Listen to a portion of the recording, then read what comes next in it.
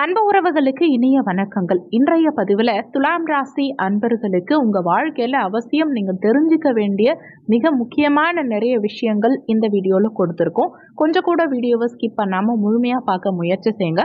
வாங்க வீடியோக்குள்ளே போகலாம் துலாம் ராசியை பொறுத்த வரைக்கும் சித்திரை மூன்று நான்காம் பாதங்கள் சுவாதி ஒன்று இரண்டு மூன்று நான்காம் பாதங்கள் விசாகம் ஒன்று இரண்டு மூன்றாம் பாதத்தை உள்ளடக்கியது துலாம் ராசி. துலாம் ராசிக்கு அதிபதி சுக்கர பகவான். வீடியோவில் சொல்லக்கூடிய பலன்கள் ஆண் பெண் இருப்பாளருக்கும் பொருந்தக்கூடிய பலன்கள். துலாம் ராசி அன்பர்களுக்கு பெரும்பாலும் நீதி நேர்மையோடு நடந்தாலும் பிரச்சனை வருது. அதே நேரத்தில் யாருக்கிட்டையும் எந்த விஷயத்தையும் சொல்லாமல் தனியாக முயற்சி செஞ்சால் கூட அதில் தடை வருது. நம்மளுடைய ஜாதகம் பிரச்சனையா கோச்சாரம் பிரச்சனையா தசாபுத்தி பிரச்சனையான்னு துலாம் ராசிக்காரங்க பார்க்காத வீடியோ கிடையாது செய்யாத பரிகாரம் கிடையாது போகாத கோவில் கிடையாது. அதிகம் தெளிவுடையவங்க துலாம் ராசி அன்பர்கள். பிரச்சனைகளை சந்திச்சு சந்திச்சு சந்திச்சு அடுத்தவங்களுக்கு இதுதான் பிரச்சனை. இந்த மாதிரி பிரச்சனை வந்தால் இப்படி அதிலிருந்து வெளியில் வரணும். இதுதான் நடக்கும் அப்படின்னு சொல்லக்கூடிய பக்குவம் துலாம் ராசி அன்பர்களுக்கு நிறையவே இருக்கும். வெளிப்படையாக சொல்ல போனா ஜோதிடம் தெரிஞ்சவங்களே துலாம் ராசி அன்பர்களாக இருப்பாங்க. அவ்வளோ விஷயம் அவ்வளவு ஞானம் துலாம் ராசி அன்பர்களுக்கு இருக்கும். முக்கியமாக ஒரு விஷயம் என்னன்னா அவங்க பட்ட வலியும் வேதனையும் புக் எழுதுறது கூட பிரச்சனை இல்லை. அதை வச்சு நிறைய பேர் நன்மை அடையும் வாய்ப்புகள் உண்டு. இவங்களுடைய எக்ஸ்பீரியன்ஸ்னால நிறைய பேர் நிறைய பாடம் கற்றுக்க முடியும். அந்த அளவுக்கு கஷ்டங்களை அனுபவிச்சிருப்பாங்க. அப்பேற்பட்ட துலாம் ராசி அன்பர்கள் மன ரீதியாக சந்தோஷப்படணும். வாழ்க்கையில் ஒரு நிம்மதி கிடைக்கணும். நினச்சி பார்க்காத சந்தோஷங்கள் துலாம் ராசி அன்பர்களுக்கு வாழ்க்கையில் நடக்கணும்னு ஒவ்வொரு நாளும் ஆசைப்படுறாங்க. ஆனால் அது விதியால பிரச்சனையா ஜாதகத்தினால பிரச்சனையாங்கிற ஒரு கொஸ்டினுக்கு இந்த வீடியோவில் ஒரு கரெக்டான பதில் உங்களுக்கு கிடைக்கும். சுக்கர பகவானை அதிபதியாக கொண்டதுனாலேயோ என்னமோ துலாம் ராசி என்பர்களுக்கு ஆசைகள் எண்ணங்கள் எதிர்பார்ப்புகள்ங்கிறது அதிகமாக இருக்கும். இந்த எதிர்பார்ப்புகள் எல்லாம் இருந்தாலுமே அதில் ஏமாற்றமும் அதிகம் உண்டு. மனசளவில் பல விஷயங்களில் போராடி ஜெயிக்கிற நீங்கள் ஒரு கட்டத்துக்கு மேலே முடியாமல் போய் துவண்டு போய் உட்கார்ந்துருப்பீங்க. காரணம் அந்த முயற்சிங்கிறது ஒரு முறைக்கு பல முறை எடுத்தாதான் வெற்றி கிடைக்குது அப்படின்னா நம்ம மேலேயே நமக்கு கான்ஃபிடென்ட் குறைஞ்சிரும். துலாம் ராசியை பொறுத்த வரைக்கும் அஷ்டமத்தில் குரு இருக்கார். உங்கள் பஞ்சமஸ்தானத்தில் சனி பகவான் வக்ரகதியில் இப்போ இருக்கார். ஆறாம் இடத்துல ராகு உட்கார்ந்துருக்கார். ருணரோக சத்ருஸ்தானத்தில் விரைமோட்ச ஸ்தானமான பனிரெண்டாம் பாவகத்தில் கேது பகவான் சஞ்சாரம் செஞ்சிட்ருக்கார். ஒரு சில பேர் ராகுவுக்கும் பிரீத்தி பண்ணுறாங்க கேதுவுக்கும் பிரீத்தி பண்ணுறாங்க குரு பகவானுக்கும் குரு வழிபாடு பண்ணுறாங்க இன்னும் சில பேர் ஆலங்குடி போயிட்டு வராங்க. சனி பகவான் வக்ரகதியில் இருக்கிறதுனால திருவரக்கரை வக்ர காளியம்மன் கோவிலுக்கும் கடந்த காலகட்டங்களில் நம்ம வீடியோவில் கொடுத்துருக்கிறதுனால கோவில்களுக்கு போயிட்டு வரீங்க. அதே மாதிரி திருத்தணியும் ஒரு சில துலாம் ராசி அன்பர்கள் போயிட்டு வந்து நிறைய நல்ல ரிசல்ட் கிடைச்சிருக்குங்கிறது சொல்லியிருக்கீங்க. இன்னும் சொல்ல போனால் மனப்பூர்வமாக சில நல்ல விஷயங்கள்.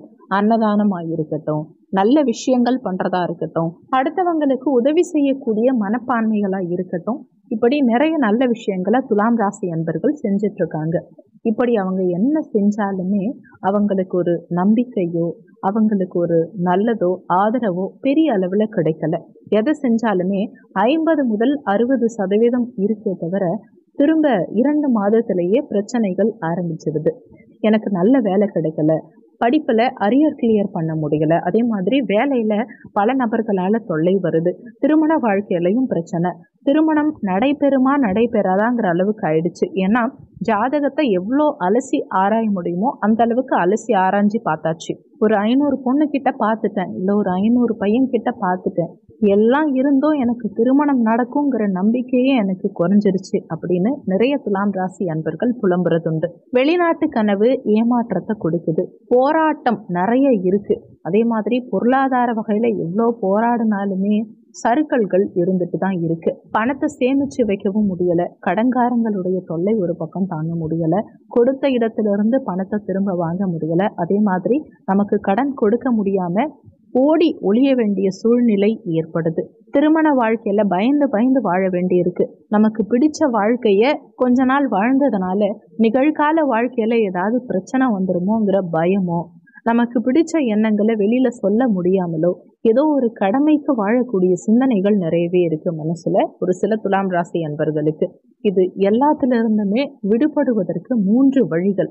பார்க்கலாம். அதுக்கு முன்னாடி எதனால இந்த பிரச்சனைகள் எல்லாம் வருதுங்கிறத பார்க்கலாம். முதல் விஷயம் நிறைய தப்பு பண்ணக்கூடிய துலாம் ராசி அன்பர்களுக்கு இந்த யதார்த்தத்தை தெரிஞ்சுக்கோங்க.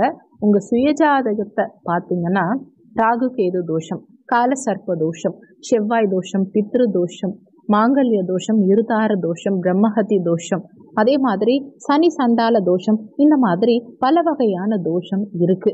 இந்த தோஷங்களுக்கு நீங்க பரிகாரம் பண்ணிட்டு இருக்கீங்க. கரெக்ட். இது இல்லாம கர்மான்னு ஒண்ணு இருக்கும். அதாவது உங்க தாய் தந்தையர் அவங்க மூதாதையர்களுக்கு பிடி கொடுக்காம இருந்தாலோ அவங்கள சரியா கவனிக்காம இருந்தாலோ அந்த கர்மா உங்க மேலதான் வந்து உட்காரும். அடுத்து நீங்க ஒருத்தவங்களை தெரிஞ்சு அவங்கள பத்தி தவறா பேசுனீங்கன்னா தவறா மீன்ஸ் அவங்க சொன்னது ஒன்றா இருக்கும். நீங்க சேஃபாக இருக்கணுங்கிறதுக்காக அவங்க சொன்னதை நீங்கள் மாற்றி பேசலாம். அந்த மாதிரி அடுத்தவங்களை பற்றி பேசுறதும் உங்களுக்கு கர்மா தான் மூன்றாவது விஷயம் என்னன்னா தெரிஞ்சே தவறு செய்யறது தெரியாமல் தவறு செய்யறது. ஒருத்தவங்களுடைய வாழ்க்கையில் நம்ம தலையிடுறது. ஒருத்தவங்க வாழ்க்கையில் நம்ம உள்ளே பூண்டு அவங்கள கல்யாணம் பண்ணிக்கிறோம் காதலிக்கிறோம் அப்படின்னு ஏமாத்துறது. இப்படி பண்ணுறதும் தப்பு தான் ஜீவராசிகளை வளர்க்கும் போது பட்டினியாக விடுறது. நிறைய சொல்லலாம். தவறுகள்ங்கிறது நம்ம வெளிநாட்டில் இருக்கோம் இல்லை வெளியூரில் இருக்கோம். ஒரு முக்கியமான ஒரு திருவிழா கோவில் திருவிழா ஒரு நல்ல நாளில் நம் தாய் தந்தையரை பார்க்காம அலட்சியம் செய்யறது. குலதெய்வத்துக்கு செய்ய வேண்டிய மரியாதையோ நேர்த்தி கடனையோ செய்யாம இருக்கிறது. ப்ராப்பரா குலதெய்வ கோவிலுக்கு போகாம இருக்கிறது. எவ்வளோ பெரிய ஆளா இருந்தாலும் சரி கோடியில நீங்க சம்பாதிக்கிறவங்களா இருந்தாலும் சரி உங்களால கருமாவை மட்டும் நிச்சயமா குறைக்கவே முடியாது. உங்களால உங்க பசங்களுடைய வாழ்க்கையில எந்த கெட்ட விஷயமும் நடக்காது. ஒரு ஆப்ரேஷன் நடக்காது. இவங்க இத்தனை வயசு வரைக்கும் ஒரு அறுபது வருஷம் வரைக்கும் என் குழந்தைங்க எந்த பிரச்சனையும் இல்லாமல் சூப்பராக லைஃப் மூவ் பண்ணுவாங்க.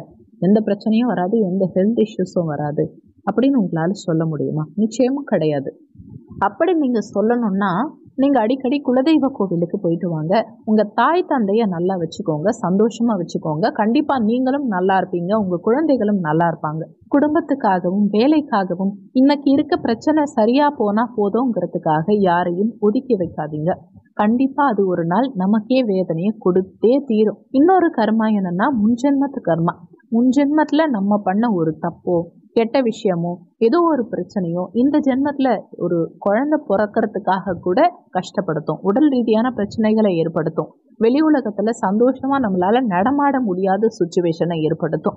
எல்லார மாதிரி சகஜமாக நம்மளால் வாழ முடியாத சூழலை ஏற்படுத்திடும் கடைசி கர்மா இது என்னன்னா ஜாதகத்தில் சனி பகவான் செவ்வாயோட கூட்டோ அல்லது செவ்வாய் ராகு சேர்க்கையோ சனி ராகு சேர்க்கையோ இருந்தாலும் அதே மாதிரி சனி கேதுவோட சேர்ந்திருந்தாலும் அதுவும் கர்மா தான். அதையும் தனிப்பட்ட முறையில் கழிக்கணும். ஸோ இதிலெல்லாம் கான்சன்ட்ரேட் பண்ணி இந்த கர்மாக்களையெல்லாம் முதல்ல கழிக்கணும். அதுக்கப்புறமா நம்ம ஜாதகம் நிச்சயமாக பலமாகும். முதல்ல இந்த கர்மாவை எப்படி கழிக்கணும்னா உங்கள் சுயஜாதகத்தை எடுத்துக்கோங்க. அதில் ராசி கடத்தில் லக்னம் எதுங்கிறத பார்த்துக்கோங்க. உங்கள் லக்னத்துக்கு ஏற்ற மாதிரி தினத்தை நீங்கள் கரெக்டாக சூஸ் பண்ணணும். உதாரணத்துக்கு நீங்கள் மேஷ லக்னமாவோ விருச்சக லக்னமாவோ இருந்தால் செவ்வாய்க்கிழமை தினம் சூஸ் பண்ணிக்கோங்க. ரிஷப லக்னமாவோ அல்லது துலாம் லக்னமாவோ இருந்தால் வெள்ளிக்கிழமை சூஸ் பண்ணிக்கோங்க. மிதுன லக்னமாவோ அல்லது கன்னி லக்னமாவோ இருந்தால் புதன்கிழமை சூஸ் பண்ணிக்கோங்க. கடக லக்னமாக இருந்தால் எந்த தினமாக இருந்தாலும் இரவு நேர வழிபாடு செய்யணும். அல்லது திங்கட்கிழமை தினமும் பெஸ்ட்டாக இருக்கும். அடுத்து நீங்கள் சிம்ம லக்னமாக இருந்தால் ஞாயிற்றுக்கிழமை தினம் சூஸ் பண்ணிக்கோங்க. தனுசு லக்னம் அல்லது மீன லக்னமாக இருந்தால் வியாழக்கிழமை தினம் சூஸ் பண்ணிக்கோங்க. மகரம் அல்லது கும்ப லக்னமாக இருந்தால் சனிக்கிழமை தினம் சூஸ் பண்ணிக்கோங்க. உங்களுக்கான லக்னப்படி உங்களுக்குரிய கிழமையில குரு பகவான் வழிபாடு பண்ணுங்க. உதாரணத்துக்கு நீங்க இப்போ மிதுன லக்னம் அப்படின்னா புதன்கிழமை அன்னைக்கு குரு வழிபாடு பண்ணுங்க. குரு வழிபாடுனா எந்த குருவை வேணாலும் வணங்கலாம். மினிமம் நீங்கள் போகிற கோவில் ஒரு நூறு வருஷம் பழமையான ஸ்தலமாக இருந்தால் ரொம்பவே நல்லது. நிறைய சிவாலயங்கள் தமிழ்நாட்டில் நூற்றுக்கும் மேற்பட்ட வருஷங்கள் பழமையான சிவாலயங்கள் இருக்குது அந்த சிவாலயங்களில் இருக்கக்கூடிய குரு பகவான் வழிபாடு பண்ணுங்க. குருங்கிறது குரு பகவான் வழிபாடு மட்டும் இல்லாமல் உங்களுக்கு குருஸ்தானத்தில் இருக்க யாரை வேணாலும் நீங்கள் வழிபாடு பண்ணலாம். அந்த குருங்கிறது சாய்பாபாவாக இருக்கலாம் ராகவேந்திரராக இருக்கலாம் இல்லை ஜீவசமாதிகளாக இருக்கலாம் திருவண்ணாமலை சிவாலயமாக இருக்கலாம் ஏன் நவக்கிரக குருவாக இருக்கலாம் தட்சிணாமூர்த்தியாக இருக்கலாம் யாராக வேணாலும் இருக்கலாம். ஆனால் குரு வழிபாடு உங்களுக்குரிய அந்த லக்ன தினத்தில் நீங்கள் பண்ணும்போது உங்கள் கர்மா கண்டிப்பாக குறையும். பௌர்ணமி அன்னைக்கு குலதெய்வ வழிபாடு செய்யறது உங்களுக்கு ரொம்பவே நல்லது.